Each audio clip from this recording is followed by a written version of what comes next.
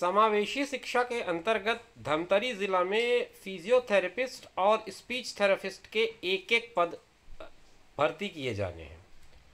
दोस्तों, नमस्कार, आप देख रहे हैं ज़ीरो पीरियड आज की इस वीडियो में हम लोग बात करने वाले हैं जिला परियोजना कार्यालय समग्र शिक्षा, जिला धमतरी के एक विज्ञापन पर। यह विज्ञापन यूँ तो केवल दो पदों के लिए है परंतु ये ज़रूरी इसलिए है क्योंकि समावेशी शिक्षा के अंतर्गत इन दो पदों की भर्ती होनी है और ऐसे पद कम निकलते हैं। इसलिए जिन अभ्यर्थियों के पास या जिन युवाओं के पास ये योग्यता होती है, उनको ऐसे अवसर कम मिलते हैं। तो इस बार ये जो अवसर है, हालाँकि यह भी एक अस्थायी नियुक्ति है, संविदा प्रकार की नियुक्ति है, परंतु फिर भी ये एक रोज़गार सूचना है जो आपके जानकारी में लाना हमारा काम है। तो मैं इस वीडियो में आपके साथ इसी विषय पर चर्चा कर रहा हूँ। समग्र शिक्षा के अंतर्गत समावेशी शिक्षा में फिजियोथेरेपिस्ट और स्पीच थेरेपिस्ट, ये दो पदों की भर्ती करनी है और ये जो भर्ती होगी वो समावेशी शिक्षा के बेहतर क्रियान्वयन के लिए जिला स्तर पर होनी है और निश्चित मानदेय होगा और इस निश्चित मानदेय में 30 मार्च 2000 तक के लिए 2023 तक के लिए स्वीकृति प्राप्त हुई है। और इस पद पर आवेदन के लिए अंतिम तिथि 30 नौ यानी कि 30 सितंबर है। 30 सितंबर तक आप चाहें तो इसमें आवेदन कर सकते हैं। एक एक पद दोनों कैटेगरी में है। फिजियोथेरेपिस्ट पे भी एक पद है और स्पीच थेरेपिस्ट पे भी एक पद है और दोनों अनारक्षित श्रेणी के हैं। इनमें कार्य का दायित्व तो क्या क्या रहेगा यह समझ लें। विकासखंड में चिन्हांकित विशेष आवश्यकता वाले बच्चों की सूची बनानी है। उसको स्टडी करना है। विकासखंड संसाधन स्रोत केंद्र में सुनियोजित तरीके से उसको प्रॉपर मेंटेनेंस रखनी है उसकी। फिर उनको थेरेपी देना है। थेरेपी के लिए जो सहायक सामग्री उपकरण की ज़रूरत ज़रूरत होगी, उनका संपूर्ण दायित्व वहन करना है। संसाधन केंद्रों में थेरेपी के लिए विशेष आवश्यकता वाले बच्चों को बीआरपी के सहयोग से संसाधन स्रोत केंद्रों तक पहुँच बनाने में सहायता करना, पालकों के साथ काउंसलिंग करना, अभिभावकों को प्रेरित करना और मार्गदर्शन करना। इसके अलावा आवश्यकता अनुसार अन्य विकास खंडों में भी विशेष आवश्यकता वाले बच्चों को थेरेपी प्रदान करना आपका कर्तव्य होगा। इसके लिए जो शैक्षणिक योग्यता है, वो आपको शासकीय मान्यता प्राप्त संस्था से बैचलर ऑफ़ फिजियोथेरेपी का डिग्री कोर्स होना आवश्यक है। छत्तीसगढ़ फिजियोथेरेपी परिषद में आपका पंजीयन जो है, वो जीवित होना चाहिए। इसी तरह से स्पीच थेरेपिस्ट के लिए आपको मान्यता प्राप्त संस्था से B A S L P degree course आवश्यक है।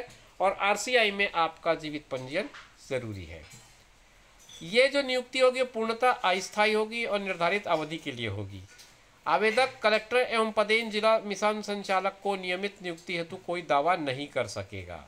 अनुबंध के आधार पर अस्थायी रूप से कार्य कर रहा उम्मीदवार मानदेय वृद्धि और नियमितीकरण के लिए न्यायालय में कोई याचिका दायर नहीं कर सकेगा, इस बात का भी इसमें उल्लेख है।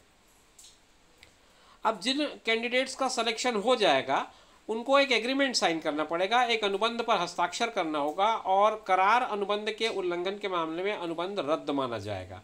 इसकी कोई सूचना नहीं दी जाएगी। रिक्तियों की जो संख्या है, ये परिवर्तनीय है, कम या ज़्यादा हो सकती है। आयु सीमा में छूट जो शासन के नियम है, उनके हिसाब से होगा और निश्चित राशि जो मिलेगी, इसमें बीस हज़ार रुपये प्रति माह आपको भुगतान किया जाएगा। इसके अलावा किसी तरह की कोई भत्ते की पात्रता नहीं होगी। न्यूनतम आयु 21 वर्ष की हो, अधिकतम आयु 45 वर्ष की हो। आयु की पुष्टि के लिए आपको अपना हाई स्कूल का सर्टिफिकेट प्रोड्यूस करना पड़ेगा। रोज़गार ऑफ़िस में आपका जीवित पंजीयन होना भी ज़रूरी है और सारे डॉक्यूमेंट्स को आपको सेल्फ अटेस्टेड करके भेजना होगा। आवेदक को आवेदन के साथ दस रुपये का एक डाक टिकट का स्वयं का पता लिखा लिफाफा भी इसमें संलग्न करना है और जिस पते पर यह भेजना है वो है कार्यालय, जिला मिशन समन्वयक, समग्र शिक्षा, जिला पंचायत परिसर, धमतरी प्रथम तल कलेक्ट्रेट के सामने। पिन कोड नंबर इसका है चार नौ तीन सात सात तीन। ये सारी जानकारी आपको धमतरी ज़िले के वेबसाइट पर मिल जाएगी। आप जाकर के वहाँ से डाउनलोड कर सकते हैं, पढ़ सकते हैं, समझ सकते हैं। आवेदन पत्र का प्रारूप भी उस पर उपलब्ध है। मैं आपको दिखा देता हूँ, इसमें आपको एक फ़ोटो की ज़रूरत पड़ेगी। आवेदित पद का नाम लिखना पड़ेगा, हिंदी, अंग्रेज़ी में अपना नाम लिखना पड़ेगा, पिता, पति का नाम लिखना पड़ेगा। जन्मतिथि अंको शब्दों में आयु बताएँगे, रोज़गार कार्यालय का नाम, जीवित पंजीयन क्रमांक और दिनांक।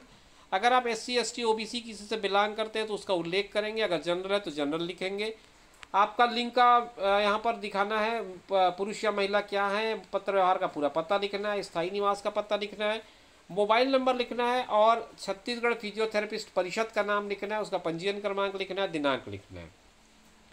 अगर आप आरसीआई में रजिस्टर्ड है तो आरसीआई का दिनांक और पंजीयन क्रमांक दोनों लिखना है। अगर आप किस कैटेगरी में आ रहे हैं बिंदु क्रमांक चौदह में ये उल्लेख करना है, विवाहित हैं, अविवाहित हैं विदुर है, परित्यक्ता है, ये सारी चीज़ों में से जो भी हैं, आप उसको मेंशन करना है। अगर आप विवाहित हैं तो विवाह की तिथि लिखना है, जीवित बच्चों की संख्या लिखना है। फिर सोलहवें बिंदु में आपको सारे क्वालिफिकेशंस की डिटेल देनी है। आपने कब कौन सी परीक्षा उत्तीर्ण की है? संस्था का नाम क्या है? पूर्णांक प्राप्तांक प्रतिशत श्रेणी सारी चीज़ें। अगर आपने कहीं पहले काम किया है तो उसका अनुभव लिखना है। और कोई योग्यता आपके पास है तो उसका विवरण देना है। और सारे डॉक्यूमेंट्स जो आप इस फॉर्म के साथ अटैच कर रहे हैं, उसका एक डिटेल देना है। लास्ट पे आपको अपना सिग्नेचर करना है। और सबसे आखिर में आपको एक अंडरटेकिंग देनी घोषणा पत्र, जिसमें यह बताना है कि सारी जानकारी जो आप दे रहे हैं, वो सही है। अंत में हस्ताक्षर करना है, नाम पता लिखना है। तो ये पूरी जानकारी थी इस फिजियोथेरेपिस्ट और स्पीच थेरेपिस्ट के पदों पर के बारे में।